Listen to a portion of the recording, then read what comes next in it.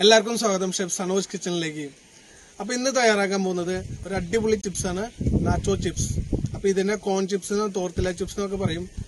അപ്പോൾ ഇത് നമുക്ക് എങ്ങനെ വീട്ടിലുണ്ടാക്കാന്ന് നമുക്ക് നേരെ വീഡിയോ കണ്ടിട്ട് വരാം.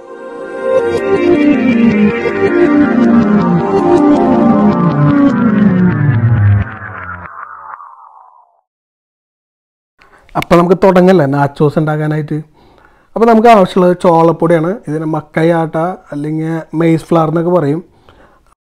അപ്പോൾ നമുക്കിന്റെ മാവ് തയ്യാറാക്കിയാലോ? അപ്പോൾ ഒരു കപ്പ് ചോളപ്പൊടി മുക്കാൽ കപ്പ് മൈദ ഉപ്പ് ആവശ്യത്തിന് കുറച്ച് ബേക്കിംഗ് പൗഡർ അപ്പോൾ നമുക്ക് ഇതിന്റെ മാവ് തയ്യാറാക്കിയാലോ? അപ്പോൾ ഇതുപോലെ ഒരു ബോളിലേക്ക് ചോളപ്പൊടി ഇട്ടിട്ട് കുറച്ച് വെള്ളം നമുക്ക് ചേർത്ത് കൊടുക്കാം. അപ്പോൾ വെള്ളം എന്ന് പറഞ്ഞാൽ ചൂടുവെള്ളമാണ്. അധികം ചൂടാക്കാൻ പാടില്ല. അപ്പോൾ ഇതുപോലെ നന്നായിട്ട് കുഴക്കുക അപ്പോൾ വെള്ളം ഒരു കപ്പ് വെള്ളമാണ് ഞാൻ ഇവിടെ എടുത്തിരിക്കുന്നത്. അപ്പോൾ ഇതുപോലെ കുറച്ചേശ്ശെ കുറച്ചേശ്ശെ വെച്ചിട്ട് നമ്മൾ നന്നായിട്ട് അത് ഇതുപോലെ നന്നായി മിക്സാക്കി എടുക്കണം. പിന്നെ ഉപ്പ് ആവശ്യത്തിന് ഉപ്പ് ചേർത്ത് കൊടുക്കുക. അതുപോലെ ബേക്കിംഗ് പൗഡർ ഒരു ടേബിൾ സ്പൂണ് പിന്നെ മൈദ നമ്മൾ നേരത്തെ മാറ്റി വെച്ചത്. അതും കൂടി ആഡ് ചെയ്ത് കൊടുക്കാം. എല്ലാം കൂടിയിട്ട് നന്നായി മിക്സ് ആക്കുക. എന്താ മൈദ ആഡ് ചെയ്യാം നമുക്ക്. അപ്പോൾ ഇതിന്റെ മാവ് നമ്മൾ കുഴച്ചെടുക്കുമ്പോൾ ശ്രദ്ധിക്കണം. അധികം ലൂസ് ആവാനോ അധികം ടൈറ്റ് ആവാനോ പാടില്ല. ഒരു മീഡിയം ലെവലിൽ ഇത് കുഴച്ചെടുക്കുക നന്നായിട്ട്.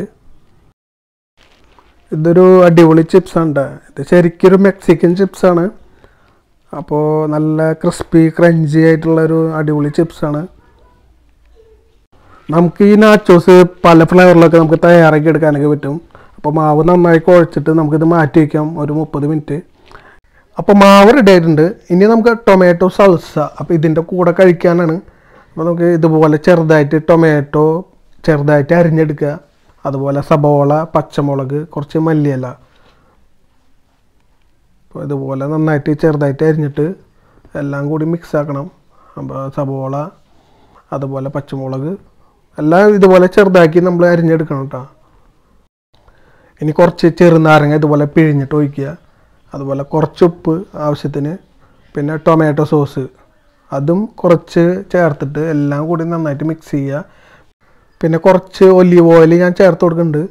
അതില്ലെങ്കിലും കുഴപ്പമൊന്നുമില്ല. അപ്പോൾ എല്ലാം കൂടിയിട്ട് ഇതുപോലെ നന്നായി മിക്സ് ആക്കുക അപ്പോൾ സൽസ റെഡി ആയിട്ടുണ്ട്. ഇനി നമ്മൾ ചപ്പാത്തിയൊക്കെ പരത്തുന്ന പോലെ അത് നമുക്കൊന്ന് പരത്തിയെടുക്കാം. ഇതുപോലെ ചെറിയ ചെറിയ ബോളാക്കിയിട്ട് നമുക്ക് അത് പരത്തിയെടുക്കാം.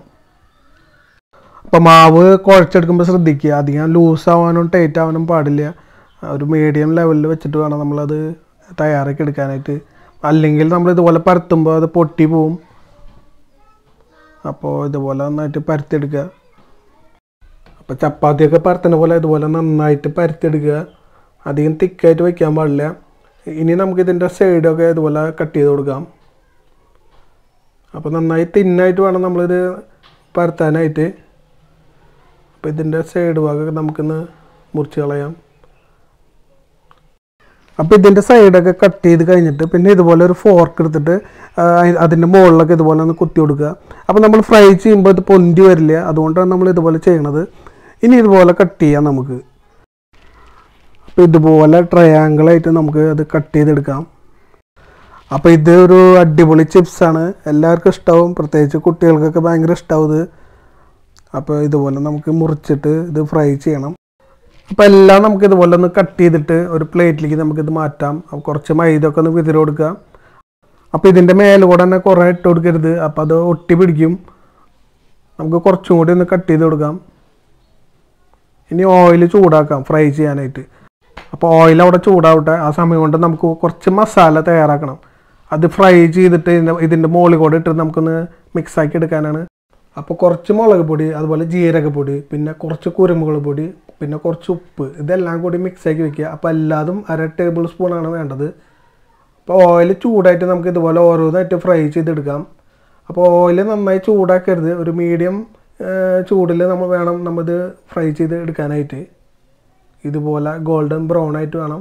അധികമായിട്ട് ഫ്രൈ ചെയ്യാനും പാടില്ല. അപ്പോൾ ഓയിൽ നന്നായി ചൂടാക്കരുത്. ഒരു മീഡിയം ചൂടിൽ വെച്ചിട്ട് വേണം നമ്മളിത് ഫ്രൈ ചെയ്യാനായിട്ട്. അപ്പോൾ ഒരു ഗോൾഡൻ കളറൊക്കെ വരുമ്പോൾ നമുക്ക് ഇത് മാറ്റാം.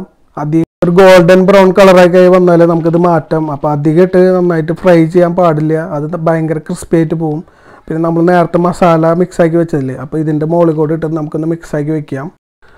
അപ്പോൾ നാച്ചോസ് റെഡി ഉണ്ട്. അടിപൊളി ചിപ്സാണ് അപ്പോൾ നിങ്ങളെല്ലാവരും ട്രൈ ചെയ്ത് നോക്കണം.